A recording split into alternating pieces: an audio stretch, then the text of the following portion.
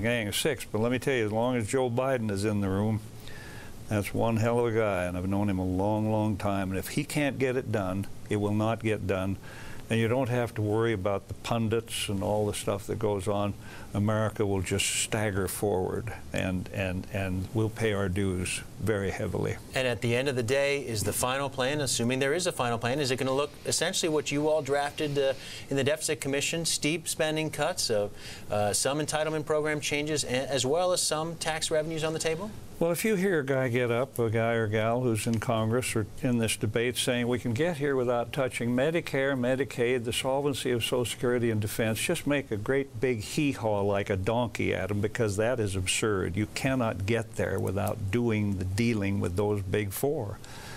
So they're going to have to do that, and, and Joe Biden is going to lead them into that. Uh, he's, he's careful. Uh, he, he knows the game. He, he, knows his players, and it's, I think they're doing just what we did. It takes all these days to establish trust. There's no trust in this town anymore. I think Joe's establishing that. I hear that from the group. So they got to do it. You don't do it. Uh, plan B is like Schwarzenegger said once. He said Plan B was Hernando De Soto said, uh, get the ships on the shore and burn them.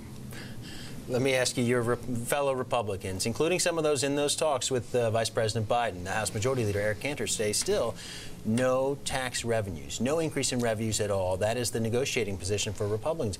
You've suggested that's not possible if they want to solve the problems. Tom Coburn has suggested it's not possible. How do you get Republicans along for the ride on this? I guess when they get smoked and go home and find out that the people didn't get any tax revenue and then lost about 58 different things they loved over the next three years, they'll scratch their heads and say, hey, what happened to I love this. Well, you don't have it anymore. Uh, but let me tell you, if these phonies on the outside talking about tax increases don't realize what we're all trying to do, getting rid of tax expenditures.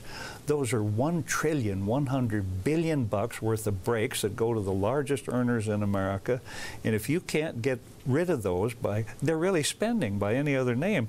And to call them tax increases is just plain fakery, just trickery and lying. On the other side of the equation, you've got Democrats now looking at the results in this New York congressional race saying, look, we were successful in attacking the Ryan plan, the Medicare changes. Some of them are going to say, hey, listen, let's stick with that plan, beat Republicans at this game politically, and take them to town in 2012. Well, then I hope they do that because then I always say to them, what do you love? Well, I love culture, I love education, I love children, I love the environment. I say, great.